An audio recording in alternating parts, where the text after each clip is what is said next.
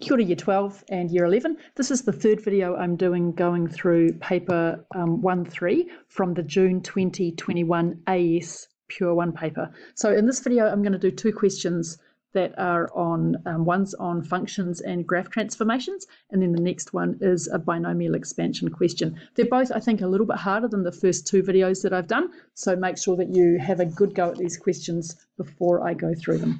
So in the first question, we're given two quadratics. We've got f of x here and g of x here, and we're going to have to link them up together. So by first expressing each of f of x and g of x in completed square form, express g of x in this form here. In other words, get, get g of x as a transformation of f of x. And you can do this with algebra, but you can also do this by just thinking about the graph and that's what they want you to do in part B. So describe fully the transformation which transforms the graph of f of x to the graph of g of x. All right, so let's have a look at what we've got. Well, we've got f of x is equal to x squared minus 2x plus 5. And if we complete the square on that, we get x minus 1 squared take away the 1 that we added in here, plus 5. So that gives me x minus 1 squared plus 4. So if you think about that one, um, what's going on graphically? Well, we started with a basic parabola here, and we shifted it one unit that way and four units up. Okay, and now we're going to look at g of x. And g of x is x squared plus 4x plus 13, and that works out to be x plus 2 squared, um, take away 4 plus 13. So if you're not really confident with that, I've done a video for level 2 maths on completing the square, so go search that one up. That gives me x plus 2 squared plus 9. Okay, so that's the first part of it done. So what we're asked to do, let's just go back to the question. We're asked to express g of x in the form of some transformation of f of x plus q. Okay, so f of x is where we take something and then we take one off, we square it and we add four. So we can think of g of x as being something minus one squared plus something plus four. And if you think about it like that, it makes it pretty easy to see what's going on. If we have to end up with x plus 2, then we're starting off with an x plus 3, take away 1. And if we have to end up with an, an x, a blah, blah, plus 9, we're going to have a plus 5 plus 4. So g of x is equal to this, which is simply f of not x, but x plus 3 plus 5. Okay, so what we're saying is to get to g of x, we're going to have as our input into the f function x plus 3 plus 5. Now we can check that back and see if it matches up. What do we get when we go f of x plus 3 plus 5?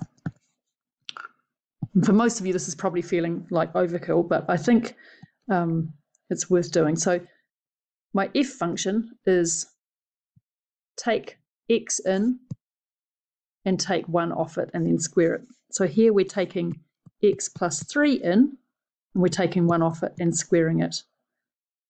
And then the next part of the f function is to add on 4 and then we're adding on 5. So that gets me x plus 2 squared plus 9, which is g of x. Okay, so it's a very long approach to that question. Now let's see what's going on graphically with g of x. Well, g of x is one where we've shifted two units this way and then up nine units here. And so we've got a parabola that's hanging there. So this is now getting extremely messy. Let's undo this and do the graphing part a little bit better. So we'll start with a ruler. So you could do this if you haven't already done this for the second part of the question.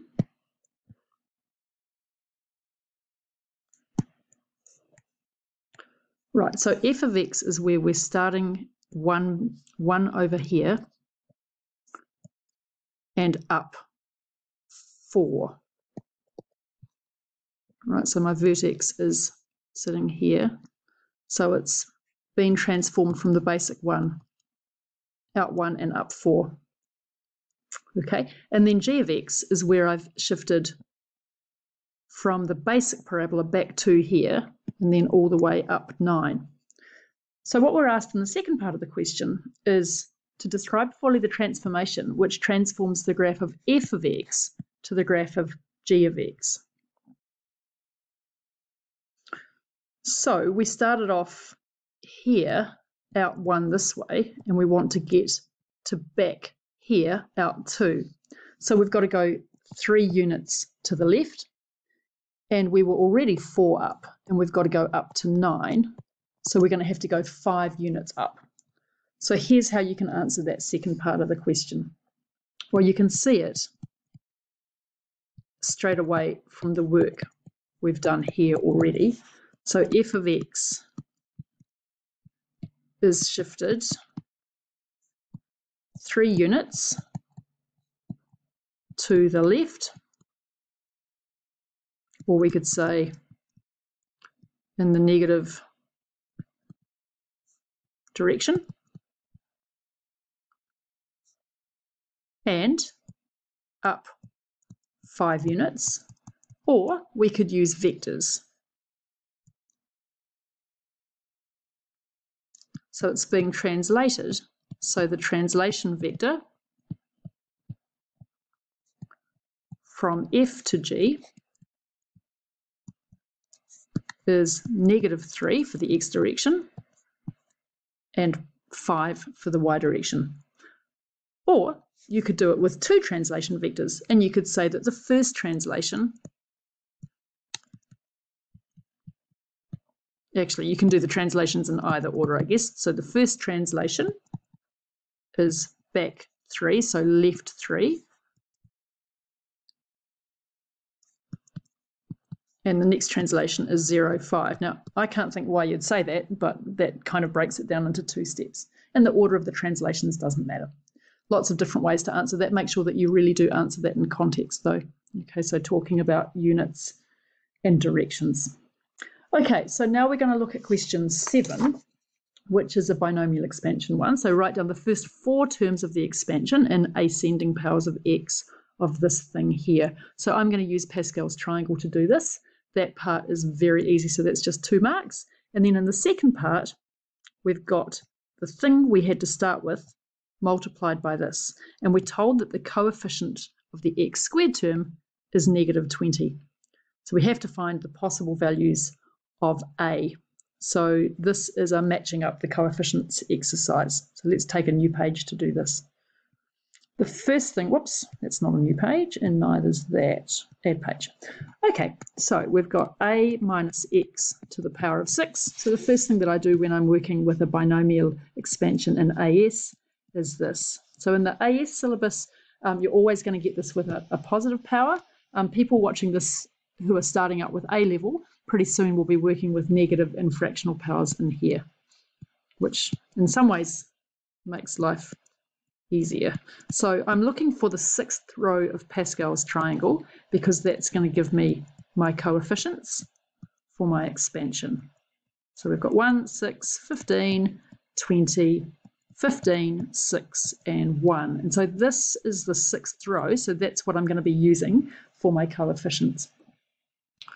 Okay, so a minus x to the power of 6 will be a to the power of 6 plus 6 coming from here. So 6 times a to the 5 negative x, right, plus 15 a to the 4 times negative x squared plus 20, whoops, I don't need the brackets, not enough coffee in me yet, guys, so 20 a to the 4 times negative x, no, a to the 3 times negative x cubed, plus, how far do I have to go? I have to go to the, oh, first four terms, so we're done. So dot, dot, dot is all I've got to do here. Now I'll clean that up. So a to the 6 minus 6a to the power of 5x plus 15a to the 4x squared minus 20a cubed x cubed dot dot dot. That's the first part done. Now for this next bit, what we have to do is figure out the coefficient of x squared. So we're going to have all of this stuff times by 1 plus 2 over ax. So 1 plus 2 over ax times a minus x to the power of 6 is equal to 1 plus 2 over ax times a to the sixth minus this. So let's not expand all of it out. Let's just think about what we're told. So we're told that the, oh, I don't know what's happening to my smart pen. What's it doing? So we're going to match on this term here. We know that the x squared term has a coefficient of negative 20. So where is that x squared term coming from? Well, the most obvious place it's coming from is the 1 times the x squared term in here, right, which is this one. So that's 15 times a to the power of 4 times x squared. But the other place it's coming from is in the expansion, when I multiply the 2 over ax by the cubic term, that's where I'll get the second of the x squared terms. So that's going to be plus 2a 2 sorry 2 over ax times negative 20 a cubed x cubed. That's that one there, right? So there's no other place that I'm going to get an x squared term.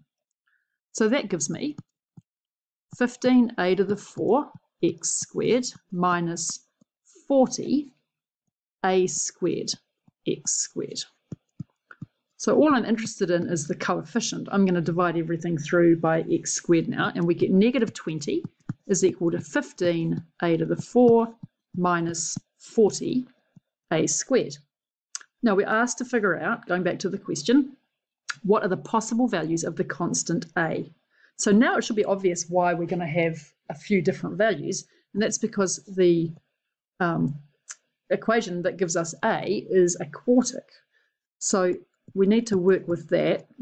So you should be able to see that it's actually a disguised quadratic. So that equals zero. We need to find the possible values of a. So there are probably going to be four of them, unless we've got some repeats in there. Dividing that through by five to make it easier gives me 3a to the power of 4 minus 8a squared plus 4 equals 0 and we'll let u equal a squared. So we get 3u squared minus 8u plus 4 equals 0. Right, so this is a good chance to practice your um, solving quadratics skills. You can do that a couple of ways. Of course, you can do it using the quadratic formula. Um, I wouldn't do that. Most of you will probably be able to do this one by guess and check, especially because this is a prime number. So that means that because it's a prime, we know that we've got 3u here and u here. And we've got a plus 4 here and a minus here. So we must have a minus and a minus. So let's just try doing it um, in our head. So if we try 4 and 1, that's clearly not going to work. And 4 and 1 the other way is also not going to work. Let's have a look at 2 and 2. Does it work? Yes, it does, right? We've got 3u squared minus 2u minus 6u plus 4, tick, tick, tick, all good. Okay, the other way to do that is using grouping or the AC method. And again, I've got a level two video on that. If you've forgotten how to do that, you really have to have that skill down for lots of things. Quadratics come up everywhere. But because we did this one, or I did this one using guess and check, I'm just going to keep on going. So u equals 2 or u equals 2 thirds, right? Either this is 0 or this is 0. But u is a squared.